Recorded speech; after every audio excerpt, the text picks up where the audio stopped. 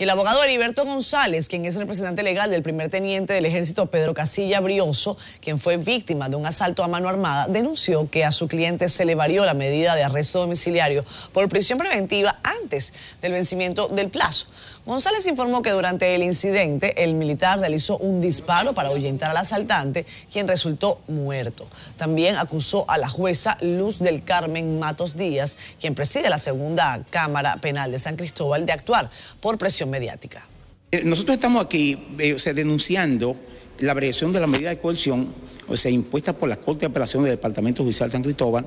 en contra del ciudadano Pedro, Pedro Castilla Brioso, eh, un teniente meritorio del ejército, del ejército de la República Dominicana, que la Corte, o sea, no, no valoró en su justa dimensión lo que eran los motivos en que la parte recurrente fundamentaba su recurso.